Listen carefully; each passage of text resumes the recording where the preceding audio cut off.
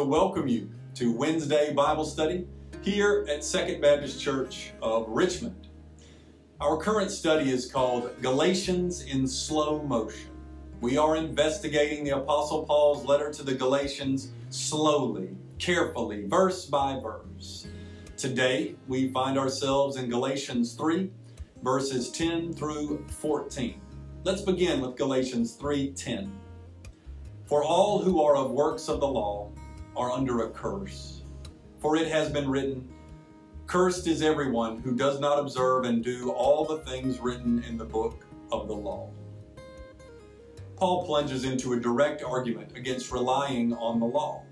The Greek term translated for connects verses 10 through 14 to the previous discussion in verses 6 through 9, which emphasizes that Abraham's righteousness resulted from his faith rather than his works of the Old Testament law.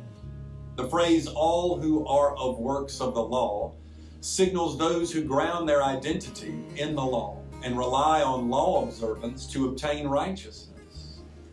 Although they seek a right relationship with God, this group, says Paul, is actually under a curse.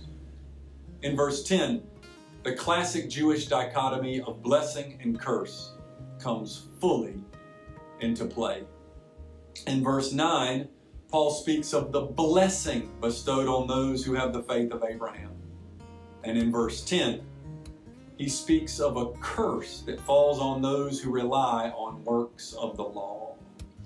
Evidently, the false teachers were teaching the Galatians that those who undergo circumcision share Abraham's blessing, while the uncircumcised do not. In a remarkable rejoinder, Paul argues that uncircumcised Gentiles who have faith in Christ share Abraham's blessing, while those who rely on the law and receive circumcision are under a curse. In Paul's mind, a person relies on either works of the law or faith. These are mutually exclusive categories that are as different as curse and blessing. Paul quotes Deuteronomy 27 26. Cursed is everyone who does not observe and do all the things written in the book of the law. The challenge of discerning what Paul means here has eventuated substantial disagreement and divergence among modern Bible scholars. One strand of interpretation, which is represented by Bible scholar Richard Longenecker, goes like this. It's probable that the false teachers had cited Deuteronomy 27 26 to convey that those who do not observe the law are cursed. Thus, they said, Gentile believers in Christ must undergo circumcision. In response, Paul quotes the same scripture, but emphasizes instead that those who do not observe all the law are cursed. Overall, then, the false teachers had said, You have to observe the law or you are cursed. And Paul replied, No, that passage says you have to observe all the law or you are cursed. And since no one can observe all the law perfectly, if you rely on the law in the first place, you are inescapably cursed. This interpretation follows the long-standing majority view that Paul assumed it was impossible to keep the entire law. In this view, Paul would agree with James 2.10. Whoever keeps the whole law but fails in one point has become accountable for all of it. A second strand of interpretation, represented by Bible scholar Richard Hays, goes like this. If Paul had believed it was impossible to keep the entire law, he would not have said in Philippians 3:6 that he was blameless as to righteousness under the law. According to this view, while Paul did not regard himself as having perfectly obeyed every single commandment in God's law, he called himself blameless because he was generally above reproach and because he had benefited from the law's provisions of repentance and forgiveness and atoning sacrifices for sin. This line of interpretation does not assume the law is impossible to obey. nor that anyone who tried to obey it was inescapably cursed. Instead, it suggests that the quote from Deuteronomy 27 26 evokes a large section in Deuteronomy in which obedience to the law brings blessings and disobedience brings curses. Look at Deuteronomy 28 through 30. The point, says Hays, is that those who ground their identity in the law, quote, live under Deuteronomy's dispensation of conditional curses and blessings, to be subject to strict judgment contingent on obedience, end quote. This line of interpretation also stresses that the covenant was for a community to keep, and therefore the curse applied to the whole people rather than strictly to individuals. Overall, then, in this view, Paul was essentially saying if you affiliate yourself with those who place their hope in obeying the law, you are joining a losing team. Not because obedience is theoretically impossible, but because Israel historically has failed and has in fact incurred the judgment of which Deuteronomy solemnly warns. Specifically, by being sent into exile. The first line of interpretation, represented by Longenecker, makes a great deal of sense. The second line of interpretation, represented by Hays, features thoughtful reflection and perspectives, but does not make as much sense of the curse in the quote from Deuteronomy 27 26. Therefore, I follow the first line of interpretation, but with this caveat Paul is not undermining a legalistic effort to obey the Ten Commandments and thereby earn enough moral points to get into heaven. He is rather undermining a legalistic effort to require Gentile, that's non Jewish Christians, to adhere to aspects of the law that distinguish Jews from Gentiles, especially circumcision, dietary laws, and Sabbath observance. I would add that even if one could keep the entire law perfectly. This would produce a bogus righteousness. The thrust of Philippians 3 6 through 11 is that Paul was just as righteous under the law's standards as anyone else. But the righteousness he obtained through the law amounts to what he calls rubbish compared to knowing Christ. In Philippians 3 9, Paul distinguishes between righteousness based on the law and righteousness based on faith, indicating that only the latter, righteousness based on faith, is authentic. Likewise, in Romans 10:3, Paul distinguishes between the righteousness of God and the righteousness humans try to establish through the law. In Paul's view, the righteousness of God is bestowed on those with faith in Christ, not on those of the law. In light of all this, then, the basic point of Galatians 3:10 was that Gentile Christians who received circumcision incurred the curse of Deuteronomy 27:26. To be cursed is to be cut off from God. Paul is claiming that those who rely on the law to obtain righteousness actually end up cutting themselves off from God, excluding themselves from the covenant community. The point evokes the many ways in which Christian attempts to be righteous can paradoxically function to distance us from God rather than draw us closer to God. For example, when our moral scrutiny becomes so exacting that it produces self righteous condemnation of others instead of humble love for others, we may be closer to curse than blessing. When we hurry past a person in need to go spend an hour reading the Bible, we may be closer to curse than blessing. When we are so certain about our theological and ethical beliefs that we are quick to dismiss the perspectives of others and reluctant to learn anything new, we may be closer to curse than blessing. When our main focus turns away from the grace of Christ toward a pursuit of our own righteousness, we may be veering off the course Christ has laid out for us. I'm reminded of a man who pastored a church in the same community where I used to pastor. a young couple came to him and asked him to marry them. They wanted to seek God, get their life on track, and get involved in church. When the pastor found out that they were living together out of wedlock, he said they were living in sin and he refused to conduct their wedding. Although I am a proponent of couples getting married before they move in together, when I heard about this, I remember thinking to myself, this doesn't make sense. If he would just marry them, then they wouldn't be living together out of wedlock anymore. He could actually solve their dilemma instead of compounding it if he wasn't such a stickler. In speaking against the law, Paul is especially resisting the idea that Gentile Christians should observe the external marks of Jewish identity laid out in the law, such as circumcision, dietary laws, and Sabbath observance. This point challenges us to remember that we who rely on faith in Christ do not rely on external markers of spiritual identity. Our identity in Christ is not grounded in being a clean cut individual or in displaying a Jesus is Lord bumper sticker on our car.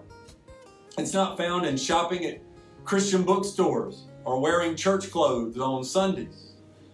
It's found in faith, which expresses itself through love. Now for verse 11.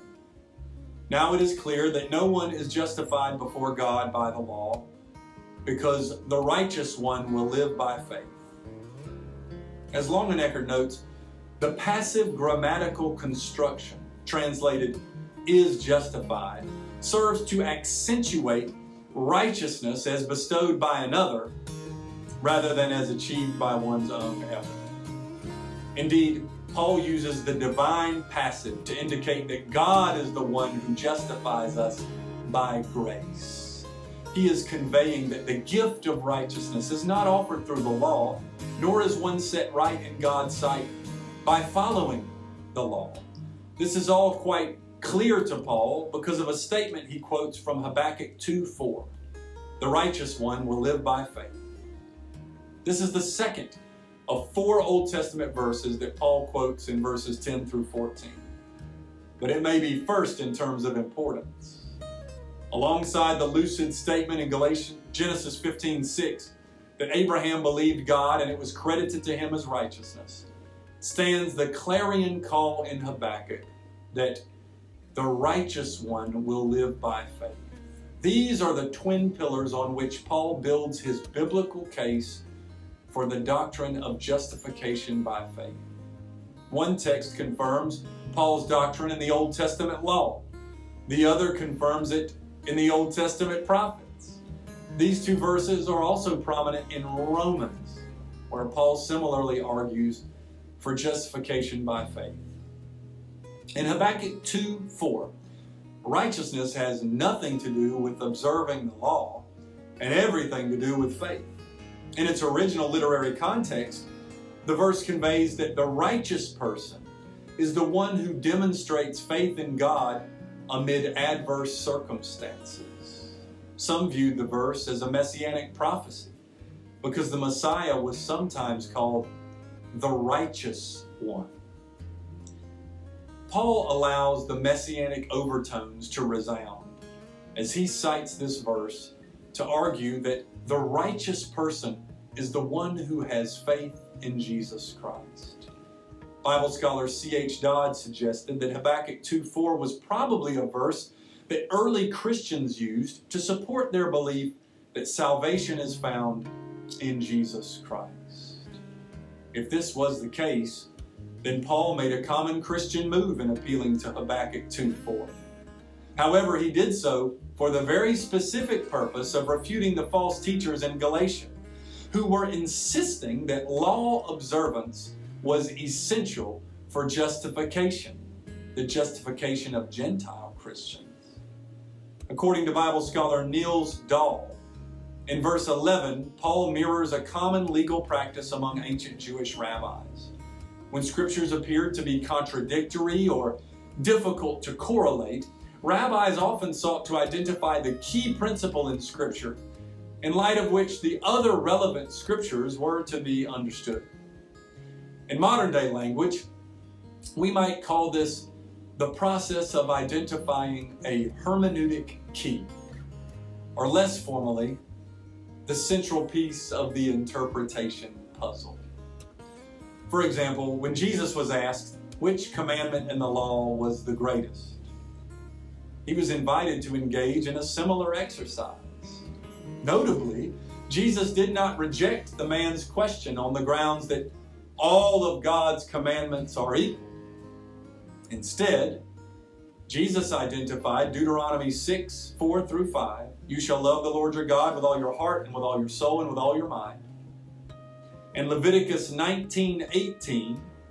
You shall love your neighbor as yourself as the twin greatest commandments in the Old Testament law. He indicated that all 613 commandments from Genesis through Deuteronomy are to be understood in light of the commands to love God and love neighbor. Indeed, according to Matthew 22 40, the entire Old Testament is to be understood in light of the double love commandment, as St. Augustine called it. Perhaps Paul saw a contradiction between Deuteronomy 27 26, the one who does the law will live by it, and Habakkuk 2 4, the righteous one will live by faith. In any case, he entered the debate about what scriptures are most important in determining how a person is justified before God.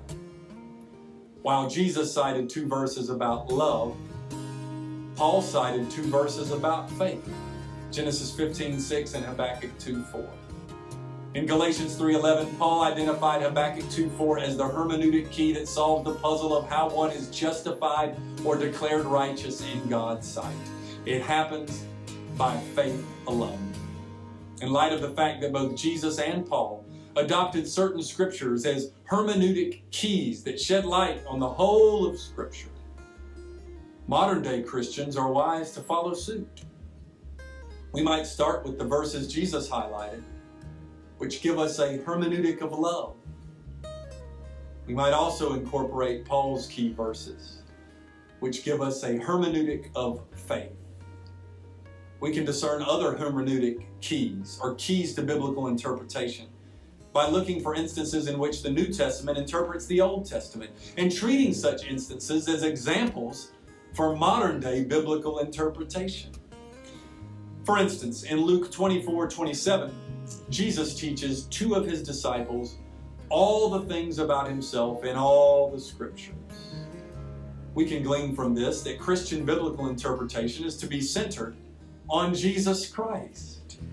We can look for Jesus in every passage and regard him as the criterion for all biblical interpretation. If Jesus focused on how the scriptures witness to him, so can we. On to verse 12. But the law is not of faith. To the contrary, the one having done these things will live in them.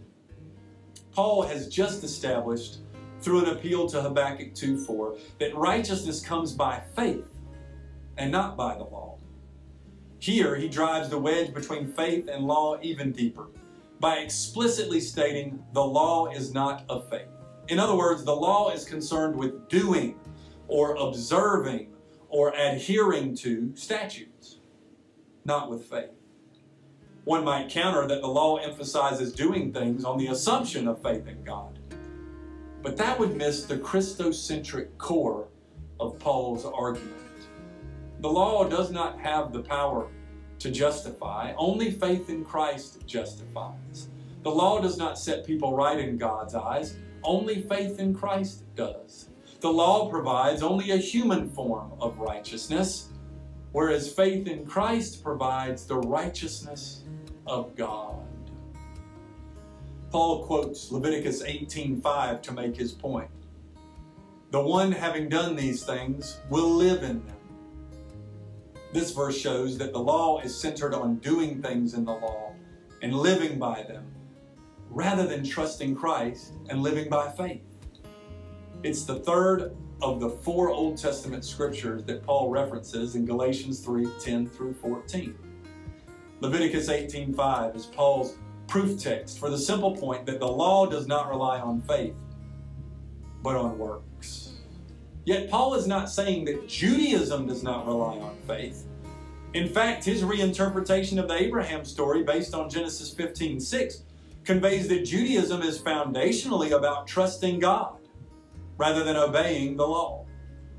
Paul is contending that Abraham, not Moses, is the key patriarch of Israel, and that Abraham was a man of God because of his faith, not because of his circumcision.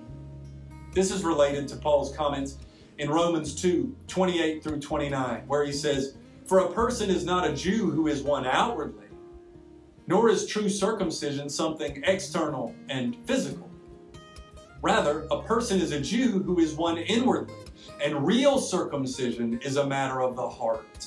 It is spiritual and not literal.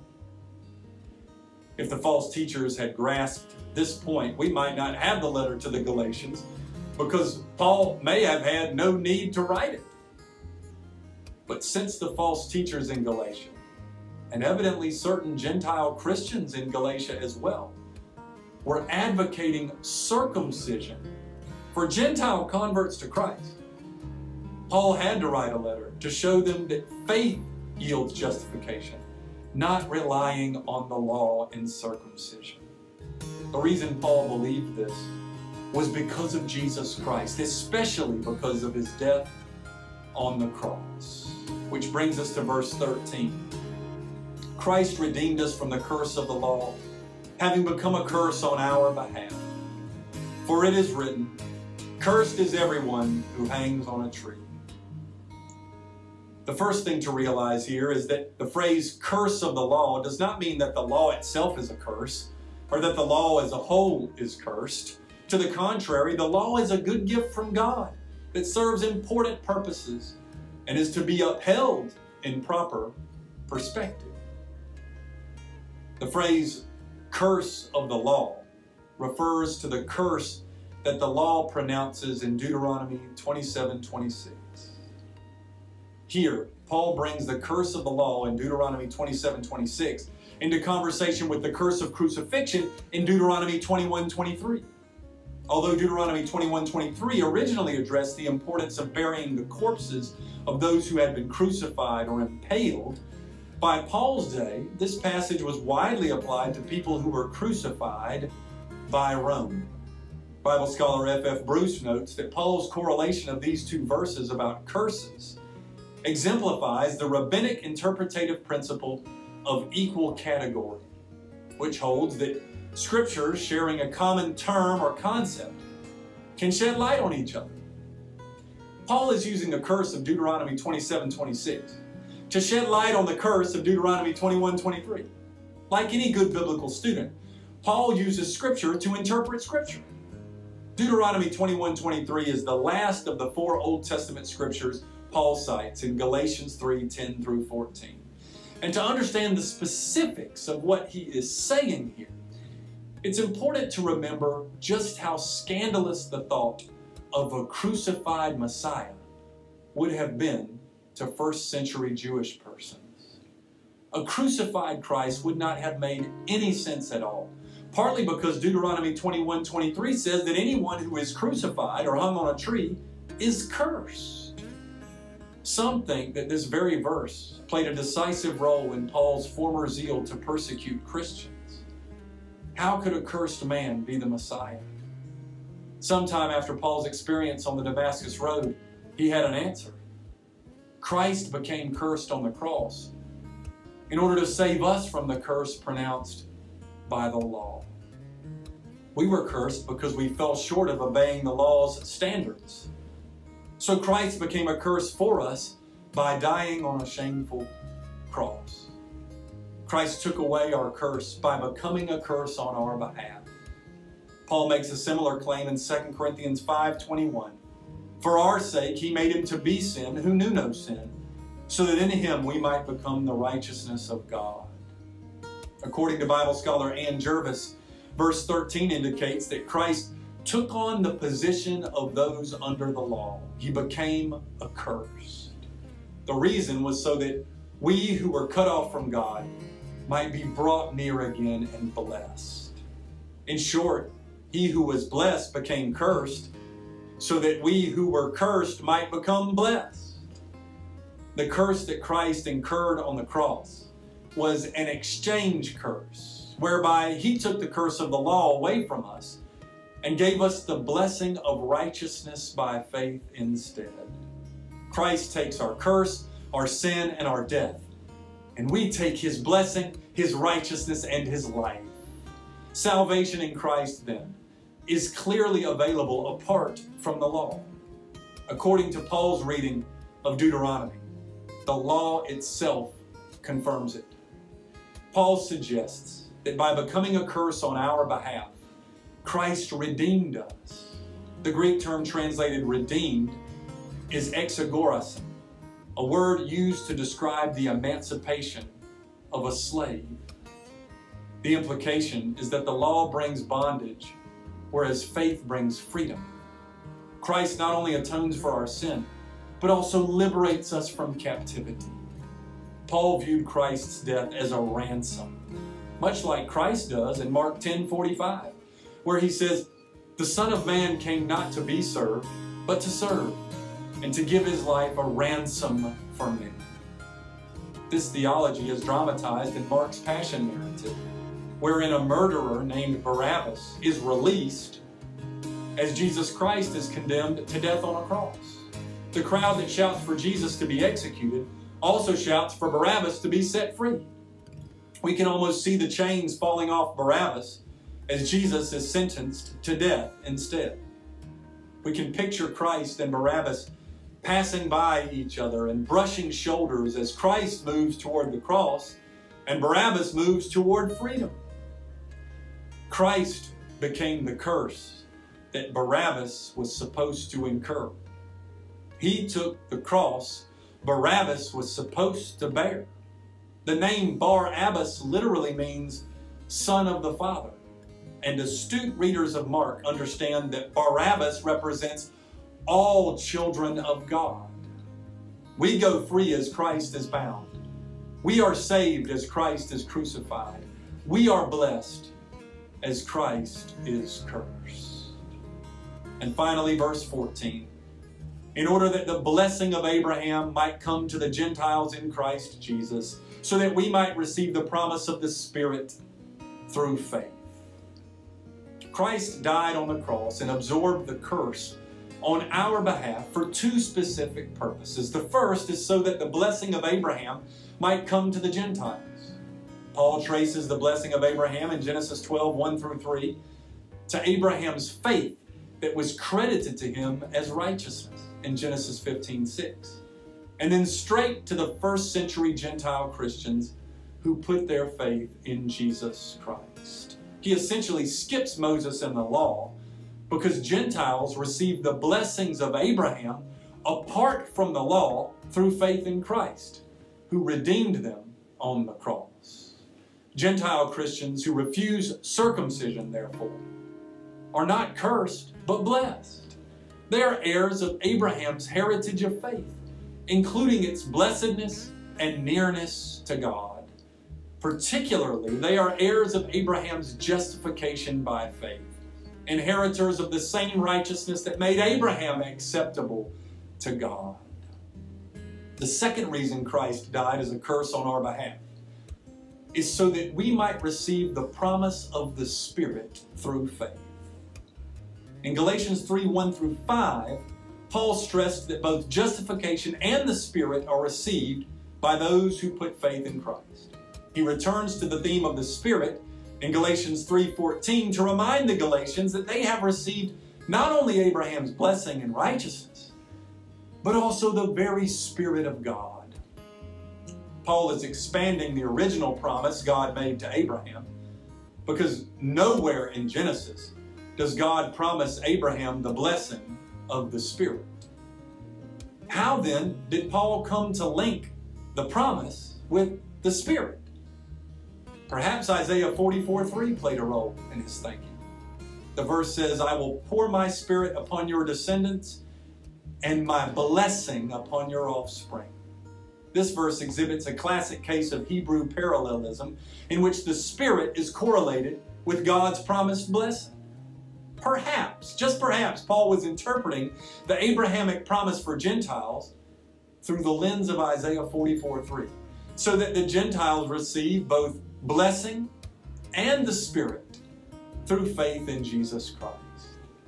The doctrine of justification by faith can seem like cheap grace that allows a person to be declared righteous by God and then live like a, a, a, a terrible hellion all the same. But this overlooks Paul's repeated insistence that the person who exercises the faith of Abraham and is justified like Abraham and is blessed with Abraham also receives the Holy Spirit. The Spirit is a free gift, no doubt but a transforming gift as well. The Spirit disallows the continual abuse of God's grace by convicting us of sin, by empowering us to live uprightly, and by leading us to walk in God's ways. As Bible scholar James D.G. Dunn puts it, Paul does not allow his theology of conversion or the Christian life to fall into an unbalanced emphasis on either formal relationship or spiritual experience. The two go together as two parts of the one whole. Yes, we are justified and blessed by faith, and we also receive the Spirit of God by faith, who guides us into righteous living. That's all for today. I hope you will join us next time when we pick up in Galatians 3, verse 15. Until then, the Lord bless you and keep you.